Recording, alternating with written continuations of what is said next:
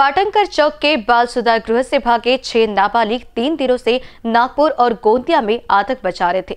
उन्होंने गोंदिया और नागपुर में पुलिस दल पर हमला भी किया। बुधवार रात उनके हमले में सीताबर्डी थाने का कर्मचारी सुशांत वाड़िया जख्मी भी हो गया है। मामले में एक नाबालिग को पुलिस ने हिरासत में ले लिया, जबकि शेष नाबालिग भाग गए हैं। 24 दिसंबर की सुबह पाटनकर चौक स्थित बाल सुधार गृह से छह नाबालिग फरार हो गए थे। इसके पास से उनका कोई पता नहीं चल पा रहा था।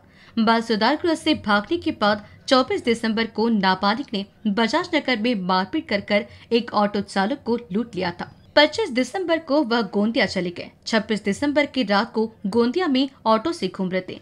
इसी दौरान ऑटो पलट गया। मौके पर पहुँचे पुलिस को कार्रवाई करते हुए देखकर उन्होंने पुलिस दल पर हमला कर दिया। पुलिस कर्मियों से मारपीट कर उनके वाहन को फोड़ डाला। और यहाँ से फरार होने के बाद बुधवार सुबह ट्रेन से नागपुर पहुँचे। इसके बाद तीन तीन के समूह में अलग अलग रवाना हुए। एक समूह रात आठ बजे सीताबर्डी परिसर पहुँचा। इटर्निटी मॉल के पीछे स्थित मार्ग पर उन्होंने एक किन्नर को जख्मी करके लूट लिया। किन्नर की एक्टिवा भी छीन ली। परिसर में गश्त लगा रहे सीताबर्डी थाने के पीएसआई विनोद तिवारी अपने साथियों के साथ वहाँ से गुजरे। किन्नर ने तिवारी को घटना की जानकारी दी। तिवारी और उनके साथी ने पीछा कर नाबालिग को पकड़ने का प्रयास किया। इसी दौरान एक नाबालिग ने चाकू निकालकर पुलिस दल पर हमला कर दिया। उसे पकड़ने के प्रयास में सिपाही सुशांत वाडिया जख्मी हो गए। घटना से खलबली मच गई। एक नाबालिग ने गुरुवार की सुबह बाल सुधार गृह में सरेंडर कर दिया है।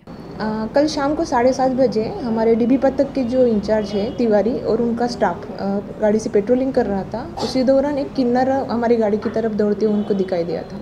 पूछताछ पे पता चला कि तीन लड़कों ने उनकी टू व्हीलर छीन ली है। इसी को लेके उसको गाड़ी में बिठा के उस स्पॉट पे गए डीपी रोड पे। पता वहाँ पे वो लड़के मिले नहीं।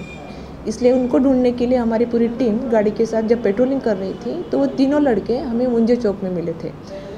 मिलने के बाद हमारे स्टाफ ने उनसे पूछताछ करने की कोशिश की, लेकिन उनके हाथ में हथियार होने के कारण उन्होंने हमला करने की कोशिश की। और इसी छीना छपटी में उनके उनके साथ जो तीन लड़के थे, उनमें से दो तो भाग गए, लेकिन उनमें से एक लड़का, नाबालिग लड़का हमारे हाथ में मिल गया था।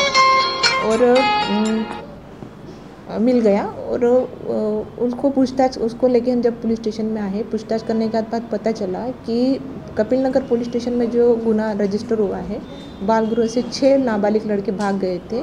उन्हीं के टीम में से ये लड़के थे और ये 25 तारीख तक नागपुर में थे और छब्बीस तारीख को वो गोंदिया गए थे और कल ही सुबह वो साढ़े आठ, नौ बजे नागपुर पहुँचे थे। नागपुर पहुँचने के बाद छः छः लोगों में से तीन तीन डिवाइड हो गए थे।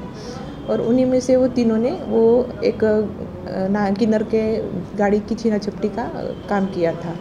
इंट्रोगेशन के दरमियान ये भी पता चला था कि यहाँ से वो जाने से पहले, वहाँ से भाग, जब बालगुरु से वो निकले थे, उन्होंने टू व्हीलर की भी चोरी की थी शांति नगर और पाटनकर चौक के दरमियान और एक ऑटो वाला का मोबाइल और ऑटो भी चुरा के ले गए थे। ये इन्फॉर्मेशन उन्होंने अभी दी है। बजाज नगर में ऑटो चालक का एक गुना भी रजिस्टर हो गया है।